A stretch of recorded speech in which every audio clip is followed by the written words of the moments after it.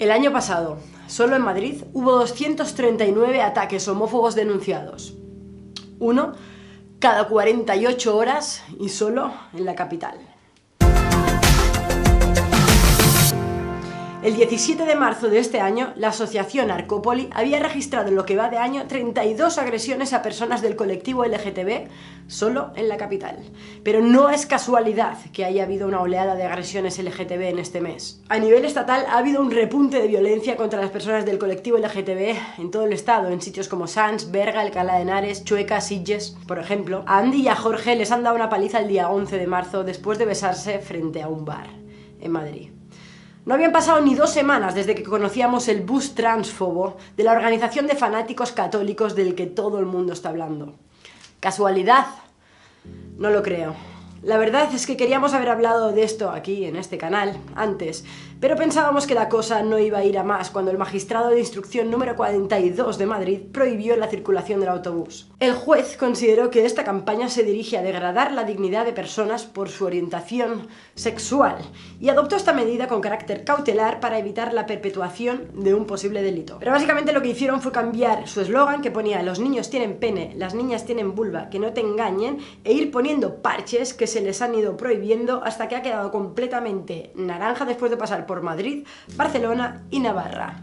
Estos días la verdad es que los esperábamos por aquí, por Euskadi, pero no ha llegado a aparecer. Parece ser que ahora mismo se van a centrar de repente en Estados Unidos, ya que ayer supimos que han estado estacionados nada más y nada menos que en Stonewall.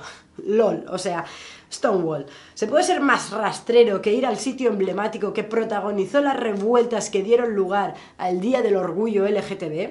¿Se puede ser más ruin que provocar con un mensaje transfobo a las puertas del símbolo de resistencia a la LGTB-fobia? El bus allí, en Estados Unidos, pone, los niños son niños y siempre lo serán, las niñas son niñas y siempre lo serán, no puedes cambiar de sexo, respeto para todos. Flipa. Obviamente la población tanto de aquí como de Estados Unidos y las organizaciones LGTB les han declarado no gratos, no sois bienvenidos, responden desde la organización Act Together, la incitación al odio no es libertad de expresión. Resulta que este mensaje tiene consecuencias directas. El mensaje del bus transfobo tiene consecuencias directas porque los jóvenes transexuales ya tienen un riesgo muy alto de violencia y discriminación y suicidio. Obviamente esta campaña está negando la realidad de los transexuales. Esto es terrorismo en la forma más peligrosa de violencia. Y no, no lo podemos permitir. No podemos permitir que haya espacios de sufrimiento amparados por esta sociedad en la cual se humille a las personas que no nos amoldamos a las expresiones de género normativas. No podemos permitir que a las niñas se les niegue el derecho a ser lo que son. No vamos a permitir que se les estigmatice y humille desde una posición de poder. Como sociedad es patético que se promueva la opresión indiscriminada contra el honor y la integridad de la infancia. Ya no es solo que se pasen por el forro los derechos y las libertades más básicas, es que esto es terrorismo salvaje e indiscriminado perpetuado por organismos amparados por el Estado. Esto es terrorismo de Estado. Todo esto no es casualidad y no lo vamos a permitir. Hace falta erradicar estas olas de odio. Ya no nos bastan las leyes de garantía que tenemos en Euskal Herria y Cataluña, porque nos están matando y apalizando de todos modos. Que se sientan amparados aquí y en Estados Unidos no es casualidad. El gobierno de Rajoy y el de Trump no están haciendo absolutamente nada.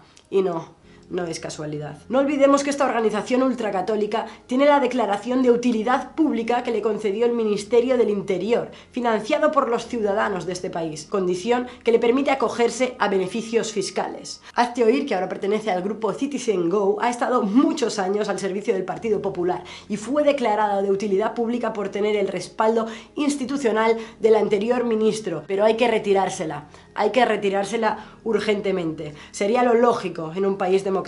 El portavoz de Hazte Oír ha dicho a la comunidad LGTB, así os va, bendito SIDA. Y otras lindezas como la Inquisición gay ha impuesto su dictadura. Y aún así, hay quienes defienden su libertad de expresión. ¿De qué hablan cuando hablan de ideología de género?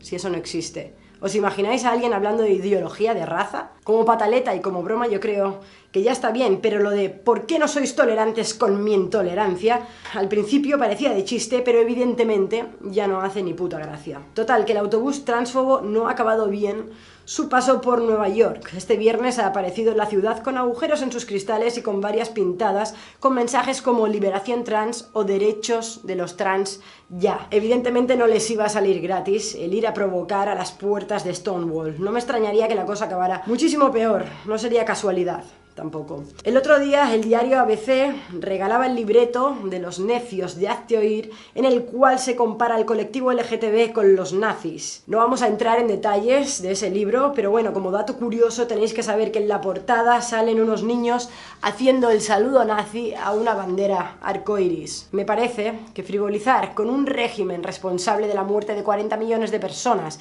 y relacionarlo con una comunidad oprimida, como es la comunidad LGTB, como mínimo debería ser considerado delito de odio.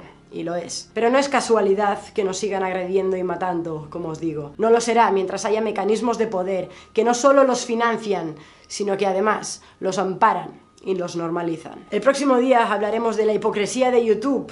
No me cabe toda la LGTB-fobia en un solo vídeo, por lo visto, con toda la que está cayendo. Pero sí, resulta que YouTube ha considerado inapropiado todo el contenido LGTB en la plataforma, así que no solamente no somos non gratos, sino que además ahora somos invisibles. Gracias, YouTube. Todavía recuerdo tu logo con la bandera arcoiris y el lema Proud to Love. Seguramente tampoco es casualidad que esté pasando esto ahora, pero bueno, ya lo hablaremos en el próximo vídeo e intentaremos averiguar por qué no es casualidad. Un abrazo de koala.